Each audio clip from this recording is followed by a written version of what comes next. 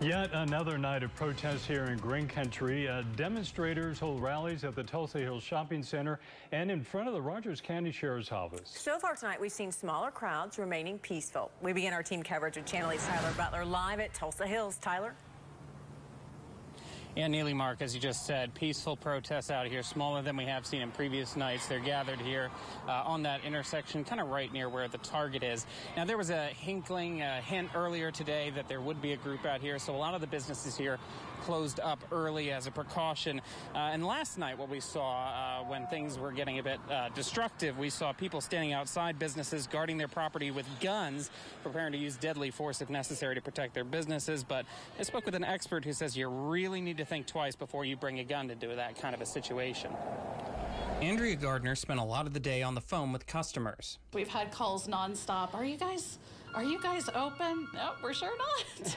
The wine and cigar cellar closed early because Gardner was told there was a credible threat of damage tonight at Tulsa Hills. It's been a hard couple of months for a number of reasons, and it certainly doesn't help us or you know the all of the small businesses out there who have struggled a lot more than us through this. Last night we saw some business owners prepared to use their guns to defend their stores. It's not like the movies. It's not one and done. The ripple effect of that violent encounter will follow you for the rest of your life.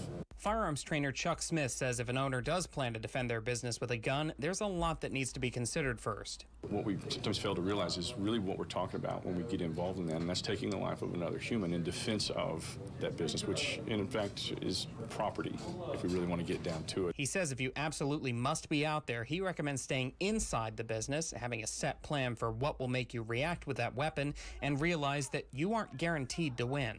It's a 50-50, and you can you can instill yourself with all kinds of confidence, but when it comes down to it, there's two parties at play here, and it can go either way.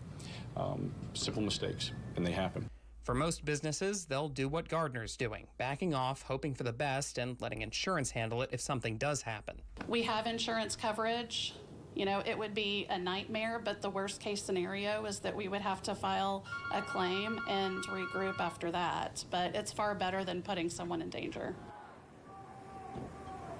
So again, at this point down here at Tulsa Hills, haven't seen any kind of destructive activity. Uh, and to clarify a little bit more on these stand your ground laws, uh, Chuck Smith was telling me that does not grant you complete immunity here.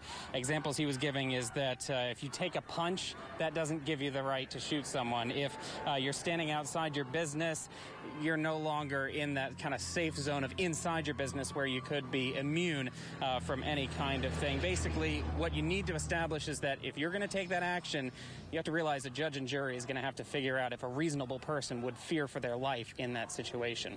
Reporting live at Tulsa Hills, Tyler Butler, Tulsa's Channel 8. All right, Tyler.